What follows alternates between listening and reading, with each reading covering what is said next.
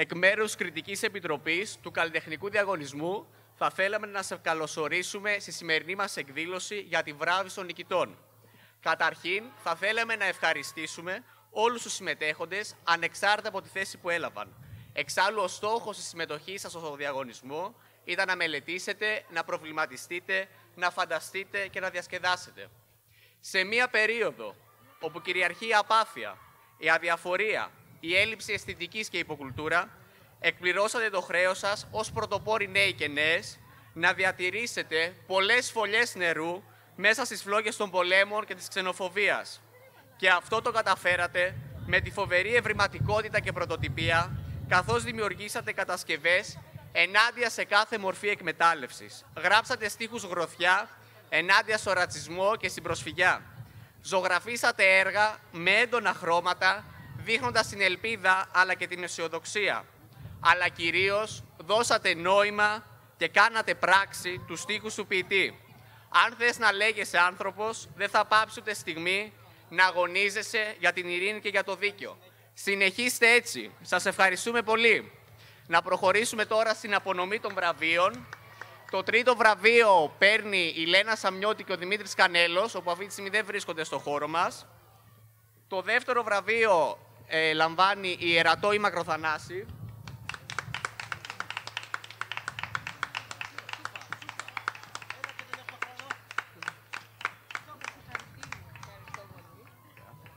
Και το πρώτο βραβείο η Βασιλική Τσιψή.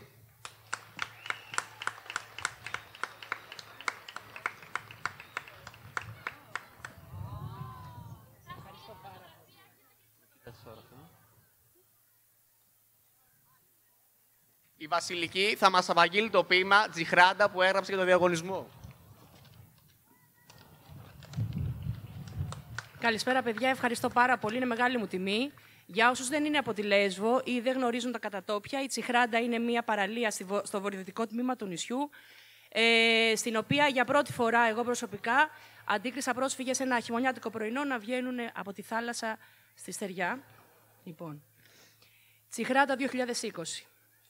Στεριά, ξένη, αδυσόπιτη. Ελπίδα. Την κουβαλήσατε μαζί στο ταξίδι, τη δέσατε κόμπο κάτω από τα μαντίλια, την κρύψατε βαθιά στο στέρνο να μην την παγώσει η θάλασσα. Το βάρος της σαν να χαράκωσε περισσότερο τα μάτια σας. Φως. Στα μάτια των μωρών που λαμπυρίζουν ο θάνατος νικέται κάθε μέρα. Αδικία. Στρογγυλοκάθισε σαν θεριός στις πλάτες σας. Αχθοφόρη των αμαρτιών αυτού του κόσμου. Πρόσφυγα θα πει να ζεις κάτω από έναν ουρανό που χωράει όλα του τα αστέρια και η γη η μάνα σου να σε ξερνάει πληγωμένη σε άγνωστες ξέρες. Τι καρτερούμε, ένα χαμόγελο, ένα χέρι που απλώνεται να βοηθήσει, ένα χάδι στα πληγιασμένα δάχτυλα, να θυμηθεί το σύμπαν, πως γη και ουρανός δεν λογαριάζονται ξέχωρα, είναι και τα δύο κομμάτια του. Ευχαριστώ πολύ.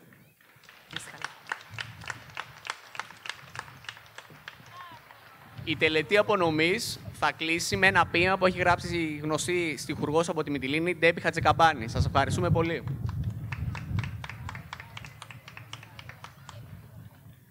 Καλησπέρα και από μένα. Είναι ένα ποίημα που λέγεται «Μπορντελό», που σημαίνει δίπλα στο νερό.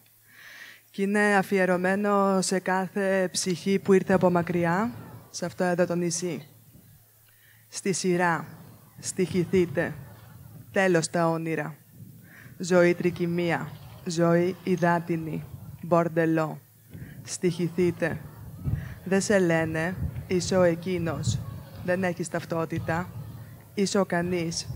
Είσαι εσύ. Και στη σειρά. Μπορντελό. Δεν χώρας εδώ. Περισσεύεις. Επέστρεψε εκεί. Πώς μπορούν και τους φέρονται με τέτοιο τρόπο; Πάρε μαζί σου και τον εκείνον και την εκείνη. Πού σας πάνε; Βγάλετε τα όνειρα από το σακί. Αράδιασε το κάτω. Είπαμε. Τέλος τα όνειρα. Σκίσε την ψυχή σου, τι φοβάσαι, αφού είναι από χαρτί. Σκίσε την και πέτα τη στο νερό, να γίνει καραβάκι χάρτινο, όπως αυτά που έφτιαχνες όταν ήσουν παιδί και ταξίδευες μαζί τους προς την ελευθερία. Πού σε πάνε, ζωή υδάτινη, ζωή τρικυμία, ζωή σαν θάνατος, μπορντελό. Ευχαριστώ.